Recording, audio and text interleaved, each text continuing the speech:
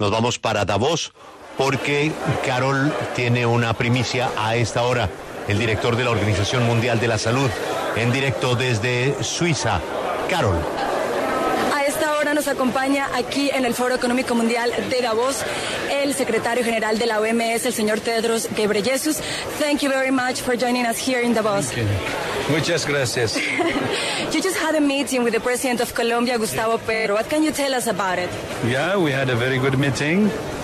And I was very happy that one of the reform agenda he has is for the health sector reform. And um, what he proposed actually is a good idea. Mm-hmm. We have to focus on health and health promotion, prevention, and on building primary health care mm-hmm. and on public health.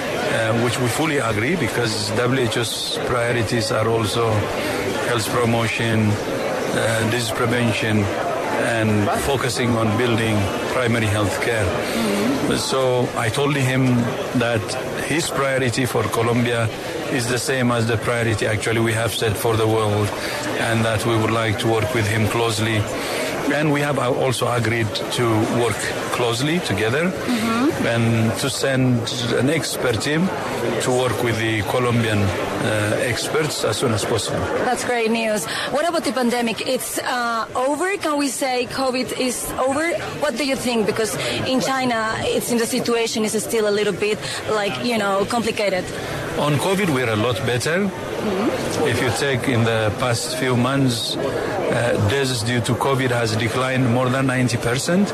That's a success. And as you can see, the world is now getting open. Mm-hmm. Uh, but still, it's not over because um, uh, we need uh, to uh, really address some of the challenges before we say it's, it, it's covered, over. Because although the number of deaths declined by 90%, uh, we are still seeing globally 10,000 deaths per week. Um, so we need to address that. And second, Omicron moves fast. And as you rightly said, in China there is a new outbreak uh, because they open up. Uh, and uh, we need to be vigilant about the emergence of new variants. And that's why we're asking all countries in the world mm-hmm. to focus on testing, especially genomic sequencing, to know where the virus is and how it's behaving. Okay. Thank you very much for your time here in Davos. Just let me know what, what is this gift with the Colombian flag? It's a traditional hat. Ah, el sombrero. okay, okay. Thank you very much, Mr. Gabriel, for your time. Thank you for speaking to W Radio. Thank you. Thank you.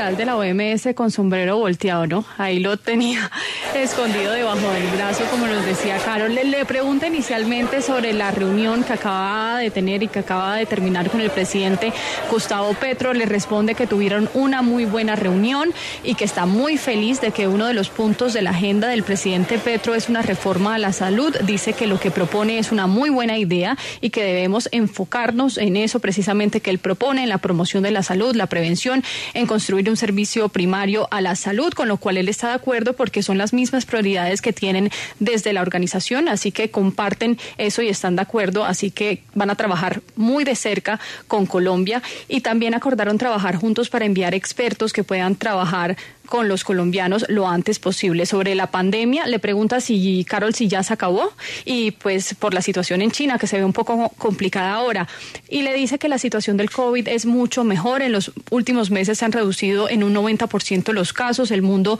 se está reabriendo, pero no ha terminado la pandemia. Hay retos que se deben enfrentar antes de decir que ha finalizado, a pesar de que se han reducido en 90% los casos. Pues en el mundo hay 10.000 muertes semanales y hay que lidiar con esa situación. También el Omicron se mueve muy rápido y como preguntó Carol, en China hay un rebrote porque reabrieron, así que hay que estar muy vigilantes a las nuevas variantes. Por eso le están pidiendo a los países del mundo que se enfoquen en los testeos, especialmente en la secuenciación del genoma para saber dónde está el virus y cómo se comporta. Y al final le pregunta a Carol sobre algo que tiene ahí en una bandera de Colombia y le responde que es su sombrero, un sombrero volteado que seguramente pues le regaló el presidente Petro.